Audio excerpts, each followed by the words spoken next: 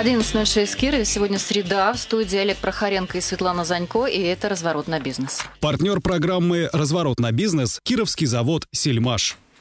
Здравствуйте. Сегодня мы говорим э, на тему от переработки мусора до вакцины от гриппа, на чем могут заработать кировские биотехнологии. И в гостях у нас сегодня генеральный директор биофармацевтической компании «Нанолек» Михаил Некрасов. Здравствуйте, уважаемые радиослушатели. А, заместитель председателя правительства, э, прошу прощения, замминистра промышленной политики Кировской области Артем э, Нопин. Здравствуйте. Да, оговорился Олег Прохоренко. Мы ждали Максима Кочеткова, но да. у него срочное совещание. И угу. ректор Вятского государственного университета Валентин Пугач. Здравствуйте и директор Ассоциации промышленный кластер биотехнологий Сергей Толстобров.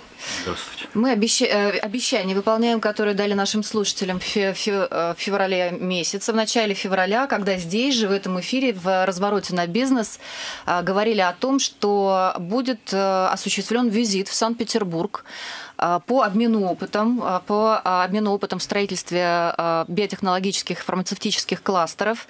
И эта поездка, этот визит в Санкт-Петербург, в Ленинградскую область, состоялся 26-27 февраля текущего года. И практически вот каждый человек, кто здесь присутствует, в Питере были. То есть очевидцы событий нам, нам сегодня расскажут, что они увидели, с кем повстречались, насколько их впечатлил питерский опыт, и самое главное, что из него мы можем применить на Вятской земле, что нам необходимо для того, чтобы э, лучшие, да, качественные какие-то вещи, которые уже реализованы в Ленинградской области, прижились на нашей земле и дали нам какой-то серьезный экономический эффект. Ну, а начнем мы с э, Михаила Сергеевича Некрасова, гендиректора биофармацевтической компании «Нанолек». Потому что «Нанолек», на мой взгляд, поправьте меня, если не права, а все коллеги, это такой драйвер, а, который вот э, провоз практически, который двигает, не хотел сказать тащит, ну, надо сказать, двигает все-таки идею создания кластера создание в области, кластера, уже не идею, уже биофармацевтического. факт. Состоявшийся, все документы уже подписаны в Минэкономразвитии? Ну да, наша компания, а, а биофармацевтическая компания «Нанолек» активно приняла участие в создании промышленного биотехнологического кластера. Основная задача какого, которого, которого кластера – это развитие биотехнологий на, а, в Кировском регионе.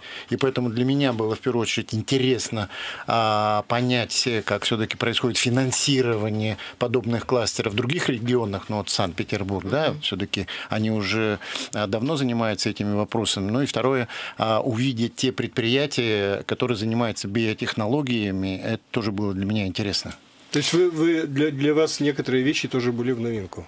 Ну, конечно, потому что а, создавая кластер, понятно, что мы понимаем свою стратегию, куда мы движемся, но тем не менее те кластеры, которые, например, скажем, а, созданы в Питере, нам а, интересно было с точки зрения понять, как они развивались. То есть, э, чтобы нам не изобретать велосипед, а взять какие-то уже наработанные вещи и притворить их уже в Кировском регионе. Чтобы вопрос не повис в воздухе, все-таки мы зарегистрированы как кластеры теперь в Минэкономразвитии развития РФ или нет еще? Но у нас ситуация такая, что а, регистрацией кластера занимается администрация Кировской области, но я знаю, что были предприняты все усилия со стороны а, значит, вот, э, и а, Артем Алексеевич, который здесь находится, он, собственно говоря, занимался этим вопросом. А давайте у него я знаю, спросим. Да, конечно. Вот я думаю, что у него и нужно спросить, потому что была проделана колоссальная большая работа, и в этом случае надо отдать должное администрации Кировской области, которая приняла активное участие в создании этого кластера кластера. Артем Нопин, заместитель министра промышленной политики Кировской области. Так мы уже кластер или еще пока в стадии регистрации? Э, тут изначально небольшая поправочка. Мы идем не по линии Минэкономразвития, а по линии Министерства промышленности Все-таки и торговли. Кто-то меня в прошлый раз тоже поправлял, но мне казалось, что я сейчас исправилась. Хорошо. Э, разница в том, что мы входим в реестр по 779 постановлению.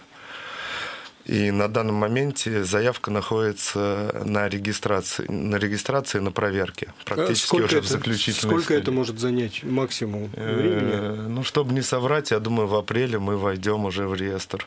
Что нам дает вхождение в реестр кластеров? Э, мы сможем получать э, деньги из федерального бюджета по 41 постановлению на реализацию совместных проектов участников кластера. Вот. Я предлагаю это отложить, да. потому что наша э, сейчас задача немножко выяснить да, э, от участников вот, этого, вот этой поездки в Питер э, впечатление те предприятия, которые посетили, и ощущение от там, пользы работы кластера. Хорошо, мы видим, а, вот сейчас программа поездки в Санкт-Петербург у нас перед глазами. Мы видим, что а, в ходе поездки была осуществлена и встреча губернатора Кировской области Игоря Васильева с губернатором Санкт-Петербурга Полтавченко. Это состоялась, состоялась встреча? Mm-hmm. Встреча была закрыта, мы не знаем, что там происходило, но Игорь э, Владимирович обещал в ближайшее время прийти на интервью, мы его расспросим лично. А нас интересует больше, конечно, то, что последовало после обеда. Это взаимодействие с, а, взаимодействие с региональными региональным инжиниринговым центром в области микрореакторного синтеза активных фармацевтических субстанций, было, был визит в Государственную химико-фармацевтическую академию. И вот это, наверное, история про а, наш вуз. Валентин Николаевич, а, что вы там увидели, какой интересный опыт почерпнули, и, может быть, сразу какие, какой опыт а, будете внедрять у себя будем? Ну, во-первых, по поводу общей такой конвы, э, общего настроения визита.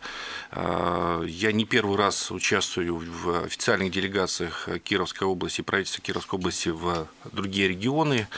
И хочу сказать, что такого организованного, теплого, радушного э, приема, который в данном случае мы наблюдали в Санкт-Петербурге, я такого не помню.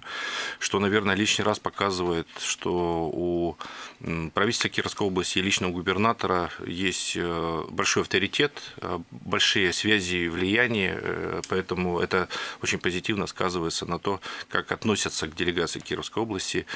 Э, это во-первых. Во-вторых, по совокупности впечатлений, которые я увидел, могу сразу сказать, что, конечно, меня очень впечатлило, насколько систематически, слаженно и организованно а, все участники а, развития биофармацевтического кластера Санкт-Петербурга взаимодействуют между собой.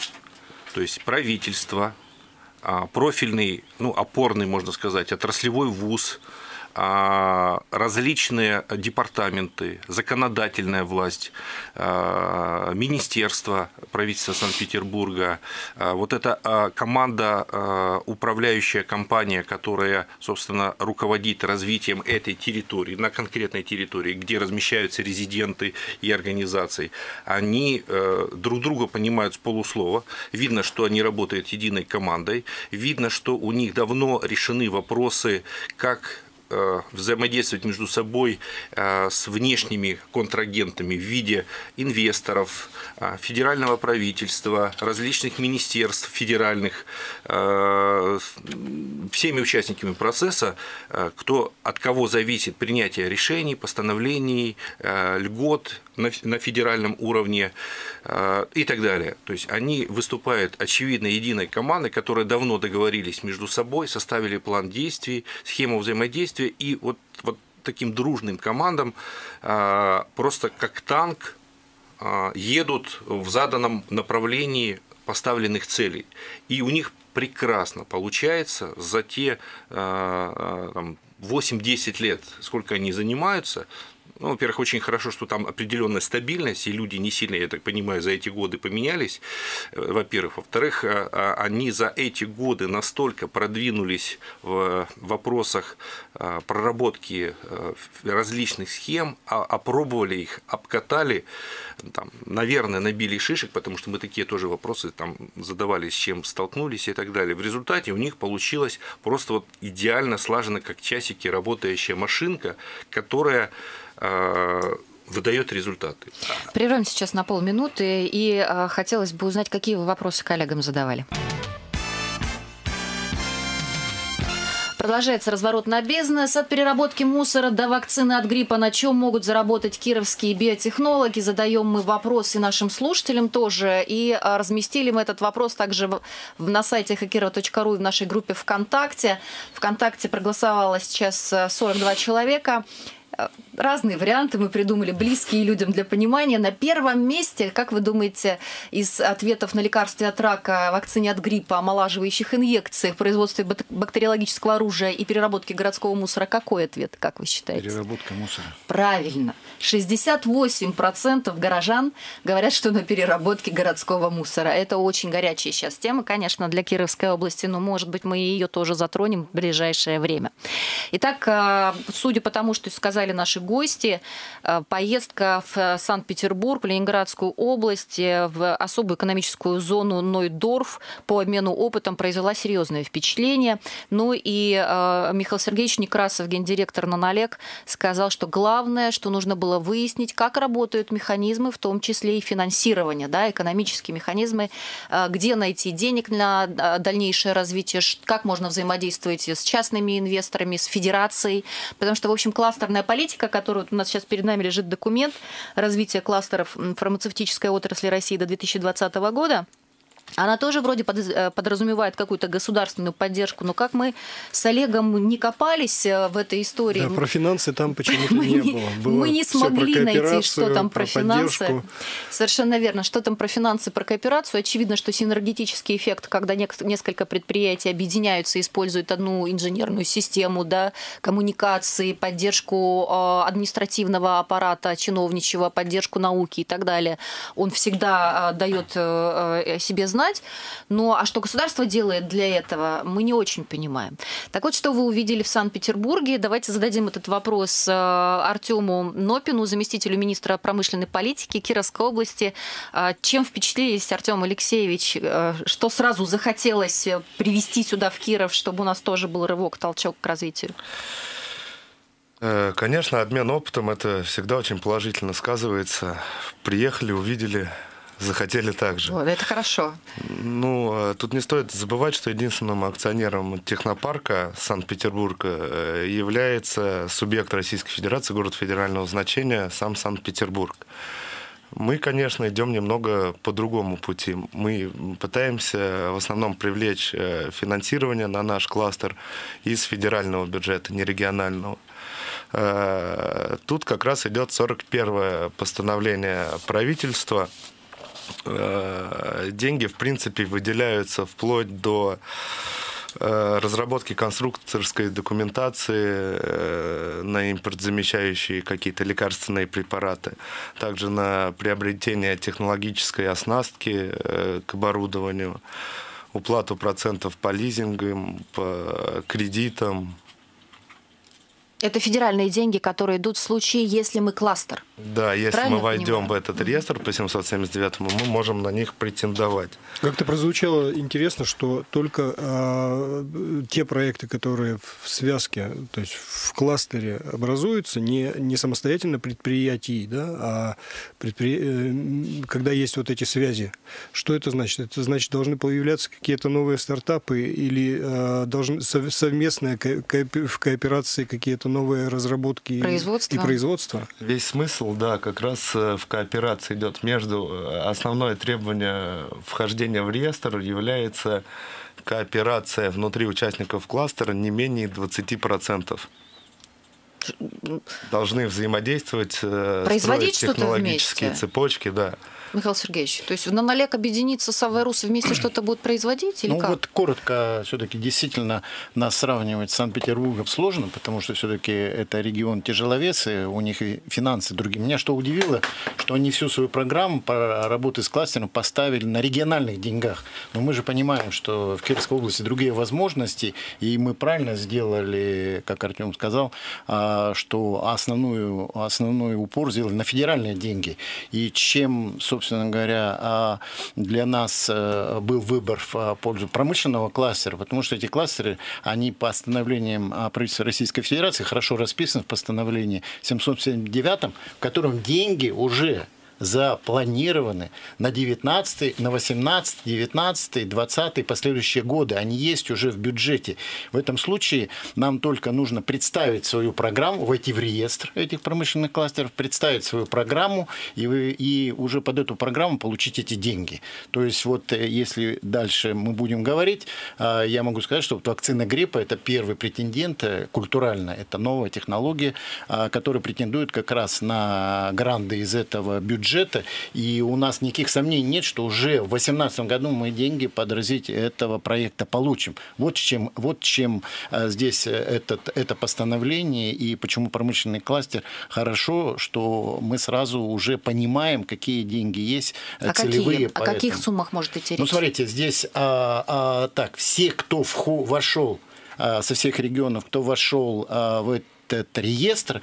А, на сегодняшний день я не помню точно, но где-то уже за 20 э, этих э, промышленных кластеров зарегистрирован, да, кто вошел. А на всех э, выделяются средства в этом году где-то около 600 миллионов, а в 2019 году 800 миллионов, и в 2020, опять же, если не меняет память, где-то уже за миллиард. То есть вот эти деньги, если мы представляем уже выполненные какие-то мероприятия, которые были финансированы. Там так, финансируя сначала из своего бюджета, затем те государства эти деньги восстанавливают. Ну, вот такой порядок. Вот для Нанолека, для Нанолека конкретно это серьезное будет э, вливание, и э, что это позволит, э, какой, то есть какую цепочку это вызовет, какую реакцию? То есть вам ну, конечно, вы понимаете, вот что? На, на разработку лекарственных препаратов это очень дорогостоящий процесс, и в этом случае вот бюджет на налег он просто не выдержит вот э, много разработок, э, которые позволяют нам и э, разрабатывать инновационные препараты. Именно нужны дополнительные средства, и мы видим, это же не только только для нанолека, там у нас есть много других предприятий, которые входят в этот кластер, и они точно так же могут под свои проекты претендовать претендовать на а, значит, э, выделение этих средств. Ну, мы вот уже для себя а, понимаем, что в этом году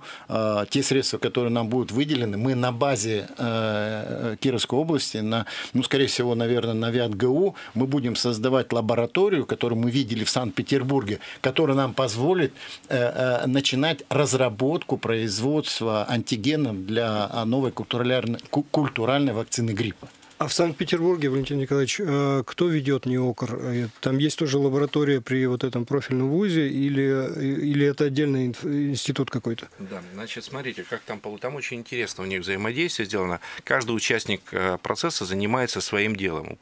То есть правительство занимается вопросами инфраструктуры, это и административной поддержки. Они нашли в непосредственной близости от города большой земельный участок, там десятки гектар, а, они обеспечили все инфраструктуры, там электричество, вода, дороги, там э, все коммуникации. А, они обеспечили принятие на федеральном уровне постановления правительства по приданию статуса этой площадки особой экономической зоне. Они обеспечили целый букет налоговых преференций, льгот и других дополнительных бонусов для тех, кто туда придет. То есть э, это сделало правительство на себя. Э, и назначили очень профессиональную, хорошую управляющую компанию, которая там ведет оперативное управление там, э, всей инфраструктурой. Ну и, и пригласили инвесторов зарубежных и российских, которые туда пришли и очень В качестве резидентов. В качестве резидентов. Дальше. Санкт-Петербургская фармацевтическая академия. Она в достаточно похожа на ВятГУ с точки зрения того, что ну, они еще более, они только этим занимаются. Они занимаются только э, фарм э, направлениями это подготовки, биотехнологии и все, что с этим связано. А, и, соответственно, они обеспечили очень э, такую системную, качественную подготовку специалистов по направлениям и профилям э, значит, этой тематики. Далее, они предложили а, создать а, на своей базе инжиниринговый центр, где как раз происходят а, научные разработки и, и тематики. Но не только они, потому что часть резидентов, которые работают в этой, в этой зоне, они также, кто-то сразу приступил к производству, а кто-то инвестировал деньги и создал инфраструктуру, персонал, которые занимаются очень дорогими, очень сложными, но на самом высоком мировом уровне научными научными разработками лекарственных препаратов уже не на базе Академии, хотя Академия снабжает и очень активно взаимодействует с этим. Каждый занимается своим делом. Притом, вот смотрите, как получается. Пришел инвестор, он, у него сразу появляется куча технических, методических, научных, технологических задач, вопросов, и они, соответственно, а, обращаются к кому? Они обращаются к профильному вузу. Соответственно, э, возникает э, внутри а, кластерная взаимо кооперация, взаимозаказ э, НИРов, работ, услуг, э, деньги между ними, э, ну, так упрощенно говоря, активно циркулируют. И ВУЗ на этом зарабатывает. И ВУЗ на этом зарабатывает. ВУЗ за счет этого имеет возможность приобретать самое современное оборудование, обеспечить конкурентную зарплату, ну и так далее, и так далее. То есть он живет полнокровной жизнью, плюс там целый ряд форм. Вот я больше всего вопросов задавал, а, а, а что делает, там, а что сделало правительство для того, чтобы там, все участники процесса имели а, по сравнению с другими регионами а, более комфортные условия. Там они раз, два, три, четыре, пять перечислили. Региональное правительство. Ну, Санкт-Петербург, да. Угу. А что, что делают резиденты? Какую роль играют? И как они помогают, чем они отдают правительству, и как они вовлекают ВУЗ и так далее? Ответили на эти вопросы. Дальше ВУЗу спрашиваю, а что вы вложили и что вы получили? Грубо говоря, мы попытались для себя набросать э, такую схему взаимодействия, получился такой паук, знаете, там э, большое количество встречных э, диагональных, горизонтальных и вертикальных стрелочек, но которые показывают, что вот они вот все переплетены взаимными услугами, работами, консультациями, помощью, административной поддержкой, взаимно наигрыванию, и благодаря этому получается, что все участники процесса ну, друг другу помогают, защищают, и за счет этого выигрывают всячески разные, получают конкурентное преимущество. Притом, чем э, лучше и дольше они в таком формате работают, тем э, вот эта связка э, получается все более конкурентоспособной на фоне там, других регионов, где вот они не достигли такого уровня взаимодействия. И это приводит к различным синергетическим эффектам. Есть я так понимаю, что кроме того, что финансовая обеспеченность работы вот всего этого комплекса со стороны правительства Санкт-Петербурга происходит, они еще снимают все возможные бюрократические барьеры. Безусловно, безусловно. Профильный зам губернатора, который занимается этим вопросом каждый день. Он настолько глубоко погружен в эту тему, он а, знает всех участников процесса, он, его, ему не надо а, объяснять, что без сильного вуза, без поддержки, без помощи а, ему всяческими способами дальше двигаться не. Ну, например, вуза и всех участников процесса. И он прекрасно понимает, там, где нужно, если появляется конкурс Минпромторга, значит, вся эта команда наваливается кучей, распределяя между собой обязанности, чтобы победить в конкурсе Минпромторга. Объявляет конкурс Минобр для а, вузов а, по созданию различных инновационных инфраструктур. Вся эта команда наваливается, Академия выигрывает там сотни миллионов рублей значит, по этой линии. И в результате получается, что финансирование всего этого кластера идет со всех возможных каналов. Это министерство федеральные, это инвестиции, это частные какие-то заказы, это, ну, и, и так далее, и так далее. И все, и все это в общий котел, где они там между собой давно договорились, э, кто какую работу выполняет и то, какие э, средства получает. И это, конечно, было очень интересно. Посмотреть. Да, Артем Алексеевич, чувствуете, да, какой объем работы предстоит для того, чтобы все эти ниточки в этой паутине заработали, да, в одном месте дернул, остальные сразу же, сразу же отреагировали. Мы сейчас об этом поговорим после короткого перерыва. Партнер программы «Разворот на бизнес» – Кировский завод «Сельмаш». Сейчас что, спросим. Что нас ну, сравнивать? Мы понимаем, что там-то им, конечно, попроще. Так, мы в эфире. Да, Михаил Сергеевич Некрасов. Михаил Некрасов сейчас а, звучал, а, обращаясь к Валентину Николаевичу Пугачеву. Перечислю еще всех а, наших участников. Михаил Некрасов, гендиректор биофармацевтической компании «Нанолек», Валентин Пугач, ректор государств... Вятского государственного университета, Сергей Толстобров, директор Ассоциации промышленный кластер биотехнологий, и Артем Нопин, заместитель министра промышленной политики. И с нами на связи Дмитрий Чагин. Дмитрий Чагин, э, директор медико-фармацевтической организации медико-фармацевтические проекты. Дмитрий, добрый день. Добрый день. Алло. Рад, при- рад слышать, да, рад слышать всех своих современников из города Кирова. Да, очень приятно, что вы вышли с нами на связь. И вот только что буквально в перерыве мы говорили о том, что такое биотехнологический кластер, ка- стоит ли объединяться, регистрироваться и какие деньги мы каким И образом где надо получаем. регистрироваться? В Минэкономразвитии или, Или в Минпромторге, Минпромторге? да. Где искать деньги? Главный вопрос для биофармацевтической отрасли. Как вы решали этот вопрос, Дмитрий? Ну, вы знаете, у нас просто, конечно, была прекрасная историческая ситуация в Санкт-Петербурге, потому что если мы говорим о том, что вообще у нас в Петербурге сосредоточено порядка 12% всей науки, то около 50% науки именно в сфере фармацевтической деятельности именно находится в Петербурге. И у нас, если вот мы сейчас говорим о понятии кластерных технологий и подходов, то раньше, в добрые советские времена, это называлось научно-производственное объединение элементами сервисных компаний и то, что непосредственно примыкало вот к такому большому промышленному и научному конгломерату. Поэтому здесь, когда был объявлен конкурс Министерства иностра- э, экономического развития на инновационные территориальные кластеры, мы подали заявку, было 300 заявок, отобрали 100, и в результате постановления правительства Российской Федерации попало 14 инновационных кластеров. Мы называемся кластер медицинской фармацевтической промышленности э, и радиационных технологий Санкт-Петербурга и Ленинградской области. Вхождение в кластер со стороны Министерства экономического развития дало нам возможность привлечения, в первую очередь, софинансирования по двум программам. Поддержка малого и среднего предпринимательства и программа инновационных территориальных кластеров. Там различные соотношения, но, как правило, конечно, большие суммы предоставляют федеральные центры. Именно для выполнения совместных проектов, которые мы обозначаем как кластерные проекты. А, Вы знаете, сначала я думал, что будет очень сложно объединить компании, потому что понятно, что многие компании профильные имеют где-то схожие портфели успеха, где-то одинаковые направления. Но мы сумели, конечно, всех объединить и вокруг регуляторики, потому что э, в области фармацевтической деятельности, именно биофармацевтических кластеров, конечно, мы потихонечку вытесняем э, иностранные компании, которые в течение 20 лет присутствовали на рынке. Дмитрий Алексеевич, вы Сейчас, имеете в э, виду вот такой- э, лоббистские какие-то вещи, которые позволяют на законодательном уровне там, ограничивать э, Конечно. импорт, например, да? А у нас, у нас сегодня в Петербурге, вот конкретно наш союз, это то, что позволяет говорить о правильном и грамотном лоббировании именно отечественных компаний. У вас в Кирове есть блистательная компания «Нанолека», она является членом нашей ассоциации.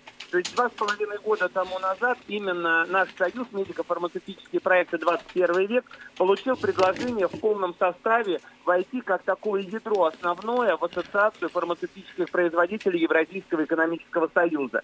И мы уже, наработав вот весь этот материал, о котором я вам говорю в течение предыдущих семи лет, грамотно стали развивать уже все те же самые компетенции, но в рамках уже единого сформированного рынка Евразийского экономического союза.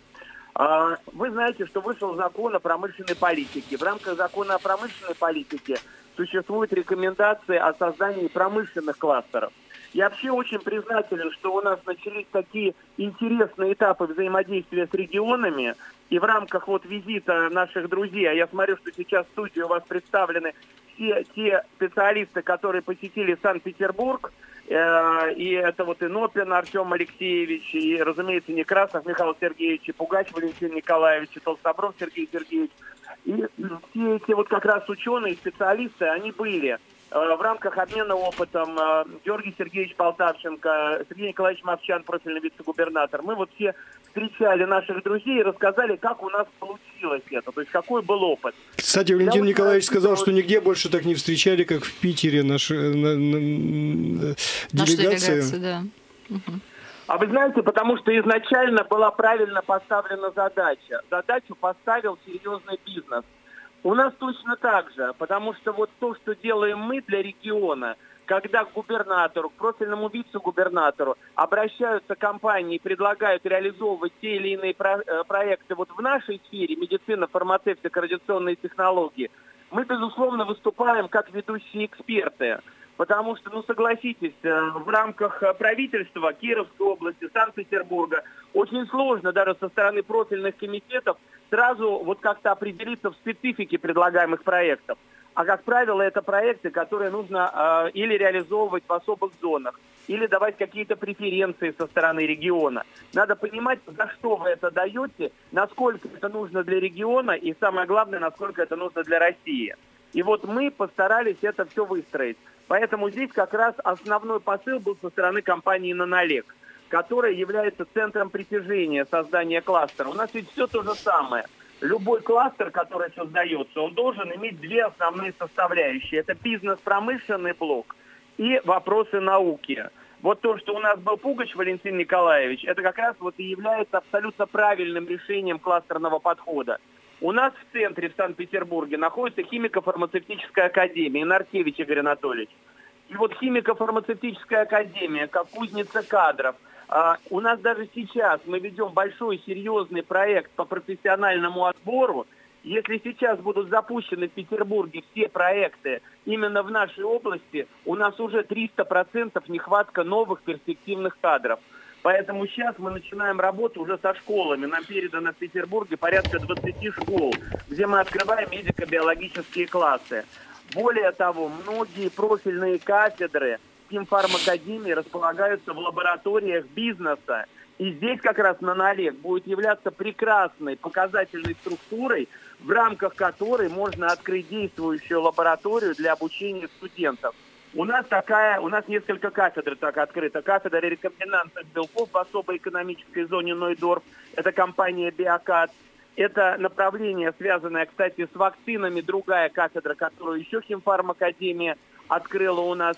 И здесь, когда ребята приезжают а, на тот же Биокат, они видят вчерашних выпускников, которые вчера закончили Химфармакадемию. Они говорят, сколько они зарабатывают, какие перспективные проекты какие социальные пакеты, какие возможности. Вы можете студентам много что говорить в рамках занятий, но когда они встречаются с такими же выпускниками, которые хорошо закончили вуз, и говорят о том, как они трудоустроены и какая перспектива на ближайшие 10 лет, это является очень серьезной основой. Поэтому в Нанолек поедут работать специалисты. И люди будут возвращаться из Кировска, которые могут учиться и там дальше, и приезжать в Петербург, Здесь мы отработаем в рамках подписания соглашения на экономическом форуме все стороны нашего содружества. Это будет и промышленная основа, и научно-образовательная основа, и кластерные подходы, и возможности влиять на законодательство. Мы же очень многие законы меняем, и в рамках субъектов тоже. У нас есть понятие стратегических инвесторов, стратегических инвестиционных проектов, стратегических партнеров. И вот все это как раз и была инициатива со стороны кластера – мы являемся лоббистами отечественной фармацевтической отрасли вместе с научно-образовательными учреждениями. Спасибо. Дмитрий Чагин, директор некоммерческого партнерства «Медико-фармацевтические проекты 21 век», Санкт-Петербург. Благодарим за включение. Ну, э, Дмитрий все, да, раз... все обстоятельно разложил, по полочкам. Начиная со школы, заканчивая... Мы, про... мы продолжим эту историю, потому что очень важно еще обсудить, какое именно соглашение планируется заключить на э, Санкт-Петербургском экономическом форуме. Валентин Николаевич, ну, знаете, так сказали, что э, такое ощущение, что если мы будем сотрудничать в этом направлении, и если отрасль в Кировской области будет развиваться, то на ВУЗ ложится очень большая нагрузка по подготовке кадров. У вас и сейчас есть два отделения, которые готовят кадры для этой отрасли. Но посмотрите, Санкт-Петербург на школу замахнулся. Что он сказал? 20, 20 школ взяли 20 и школ. открыли профильные классы. 20 школ с профильными классами. А у нас? Ну, у нас, конечно, не столько профильных классов. У нас по каждому направлению подготовки их там одна-две. Единицы. Единицы. Угу. Ну, просто у нас направлений больше, чем э, у э, Санкт-Петербургской фармацевтической академии, потому что у нас есть профильные классы по педагогике, по химии, по биологии, по биотехнологии и так далее. Поэтому у нас их, и у нас их тоже более 20, но они все разные. Какие в ВУЗе сейчас... сейчас направления есть, которые готовят кадры для биотехнологов? Смотрите, смотрите, вот мне кажется, нам времени очень мало. Самое важное... Э, у нас есть еще один час. Мне, к сожалению, так. Да, Валентин Николаевич, поэтому вам слово. И, наверное, у моих коллег тоже. Смотрите, тут э, э, мы э, видим замечательный пример, как это сделано в Санкт-Петербурге. Достичь такого уровня, мы прекрасно понимаем, то, что они прошли с их ресурсами финансовыми, административными, лоббистскими и так далее за 10 лет, понятно, что нам такого уровня достигать придется гораздо дольше времени или гораздо больше сил придется приложить. Но, тем не менее, дорогу осилит идущий, нам необходимо двигаться. Как нам развиваться? У нас должно количество участников а, процесса и объем их работы должно удваиваться, утраиваться ежегодно. Для этого, а, ну, э, хочу сказать, что на примере компании «Нанолек», как только появилась такая компания, как «Нанолек», «Аварус», а, в добавление к тем там, э, биотехнологическим предприятиям, которые были, мы сразу почувствовали резкие а, ну, увеличение возможностей развивать это направление. Это и а, НИРы, это спонсорская помощь, а, методическая помощь, э, заказ на специалистов. Сразу же обратной связью пошло увеличение желающих учиться по этим направлениям. У нас появилась перспектива, что мы стали понимать, что если мы будем развивать эту инфраструктуру, она будет востребована. Соответственно, нам необходимо, мы понимаем, сейчас нужно увеличивать количество обучающихся по этим направлениям подготовки. Соответственно, абитуриенты должны получить, школьники сейчас должны получить четкие сигналы, что это направление, это, это профессия будущего, это специальности по этим направлениям будут востребованы, перспективны и будут э, им давать возможности получать достойные зарплаты делать карьеры. Мы а, сейчас можем это сказать. Да.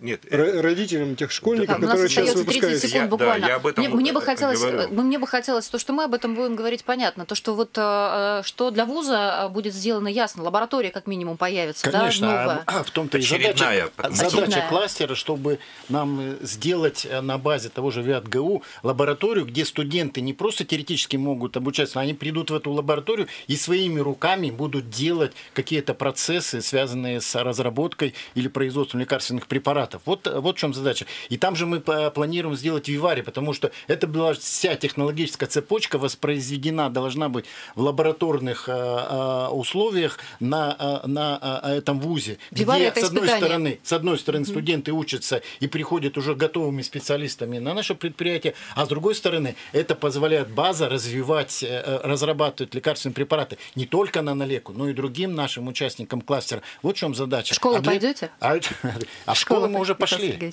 Уже С кем идем. сотрудничаете? А, Сейчас. Перерыв. Я, я хотел бы напомнить, что да. у нас а, в этом году прошла очередная Олимпиада для школьников по химии и по биологии с участием а, ну, компании, по органи... Э, э, при модерации компании Атамава Рус например. Да, но о ней очень просто мало говорилось в СМИ. Мы сейчас прервемся на новости, тематические программы и рекламу. Валентин Николаевич, я так понимаю, нас покидает? Или есть еще один час? Нет, Потому нет. что мы продолжаем Ч- через 20 минут. Часа нет. А.